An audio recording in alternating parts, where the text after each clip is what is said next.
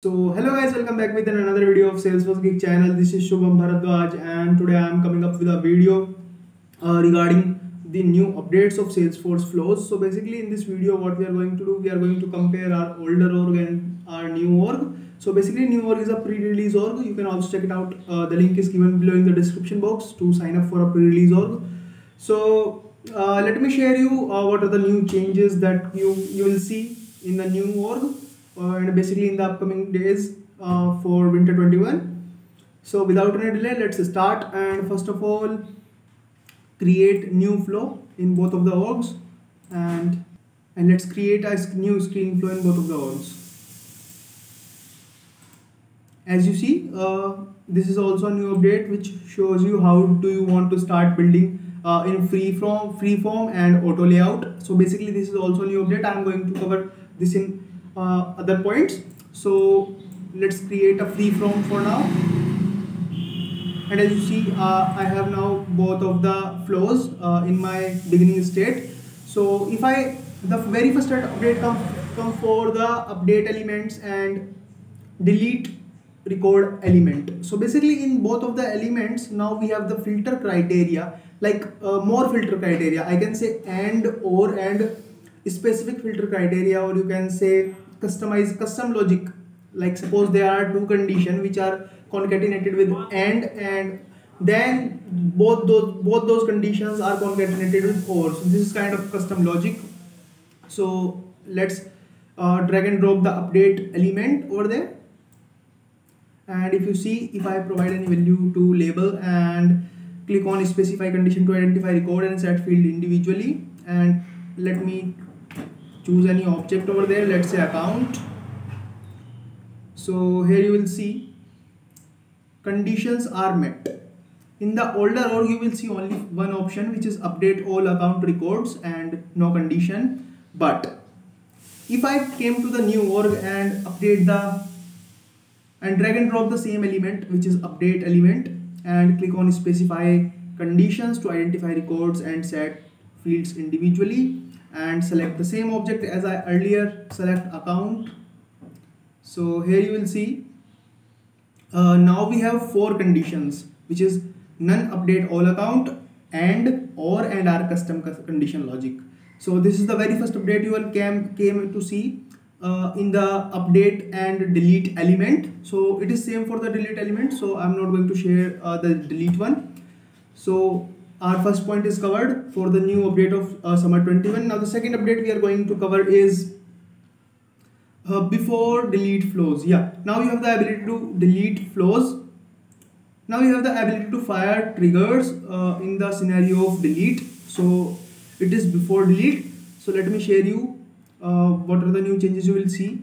As you see uh, if I create a, another new flow in both of the orgs uh, newer and older so in the if I click on record triggered flow in the older org and click create and same for the new one.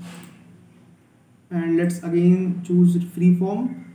And in the older one if you click on edit you will see there are only three conditions. A record is created a record is updated a record is created or updated. Okay so but now if uh, I click on edit in the uh, new org you will see here are four options a record is created, a record is updated, a record is created or updated, and a record is deleted. A record is deleted is new and only work on the before the record is deleted. So this is the second update you will came to see uh, in your new orgs, which is Winter 21 update uh, for Salesforce flows. The third third update you came to see is simple, as you already uh, check out uh, the auto layout and auto layout and free form. So basically what is auto layout? If you click on this auto layout beta uh, checkbox or you can say uh, toggle. So if you you have you don't have a you can see on the left side you don't have any uh, elements uh, provided over there as as in the older or you will see. Because these are the elements you will have on the left side of your flow builder. But now in the auto layout form you don't have any. Because you can uh, choose any of the elements from auto layout uh, criteria or I can say auto layout way. So I personally like this way. Uh, I don't know what's uh, what's your opinion about this. So if uh, you like this or don't like this feature uh, do let me know in the comment box and yeah I personally like this feature. So this is the about this is so this is about the auto layout in freeform. It is just in freeform we have to drag and drop the uh, elements of salesforce flows but now in uh, uh, auto layout the freeform or you can say we can get rid of freeform. The layout become automatically created for ourselves. We don't have to waste time to just to manage uh, flow elements to this to, to there and there. So that's the great thing i came to know about winter 21 salesforce flows. Now the another update which i came to know is simple. Uh, fire trigger on the basis of filter criteria. Now what is this? Let me tell you. Suppose as you see here uh, if i click on edit and let me share any uh, flow. Let's say a record is updated and click on done now what I have let's say I choose account over there. Now you will see there are also filter criteria over there like you have you can also filter records on the same uh, record trigger. Like when you select a particular object over there you can also filter the records on the same uh, I can say on the same start menu. So this is also a good update you can say you can get rid of get uh, where you use a element which is get record. Let, let me share you in the older org this feature is not there. So if I select object over there and let's say account so now there is no condition to filter out the records. So here you have to select only all accounts basically.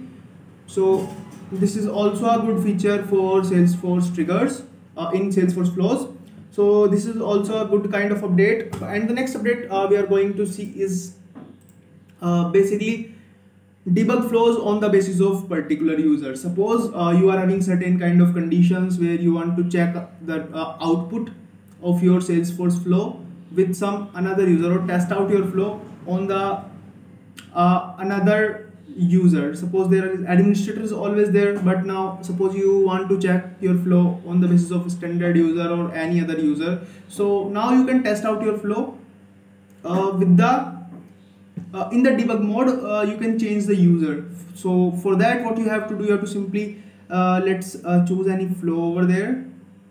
Uh, let's say create related contact one. And this is in the new org. And basically I will let you know in my let's choose any other flow.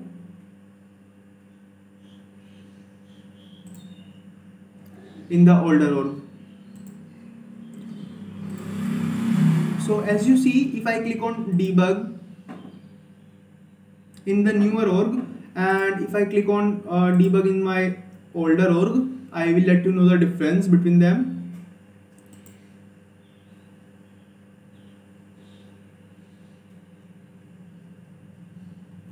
so now you, you will see an another checkbox which is run flow as another user. So currently this is not activated. For that what we have to do we have to enable a setting for that. And I will let you know what is the setting. And in the older org you will see there is no option to run a flow on the basis of any user and all. So let's enable the setting for uh, the newer one. And you can also click on the uh, hover over your I button. This option is disabled uh, in your org process automation settings. So basically what you have to do you have to move into your uh, org and here type in the setup automation and click on process automation settings.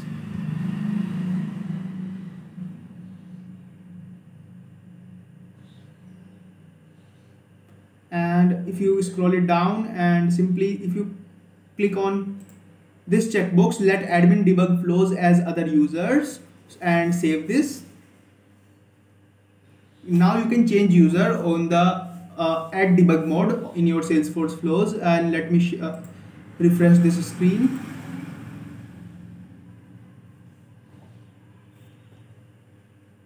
And as you see now I can select this option too and you will see there are users over there uh, basically it's kind of a lookup and I can select any user which is uh, available in my org and click run. So this is the new update uh, basically. And the another update which I am going to share with you guys uh, basically improved UI for uh, basically assignments of fields and all things. Like as you see uh, as I transferring account ID uh, from my screen. So as you see AA so basically it's an icon which shows a text field over there. So this is improved UI I. Can say it's kind of a good. And if I move back into the older org and let you know currently uh, in earlier days uh, we will have this kind of uh, UI but now it is improved through this. So I feel uh, this is really good. And it does not impact any changes but yeah look wise it's good. So these are the new update guys. Uh, I hope you enjoy this video and you find this video helpful. And that's all for today's video. If you like this video hit the like button and subscribe this channel for more such videos. Uh, in the upcoming days i will uh, come up with a video of before delete scenario of the winter 21 update. So stay tuned for that and don't forget to subscribe this channel because you got lot of good videos over there. Thank you guys. Thank you for watching. If you're watching this video till end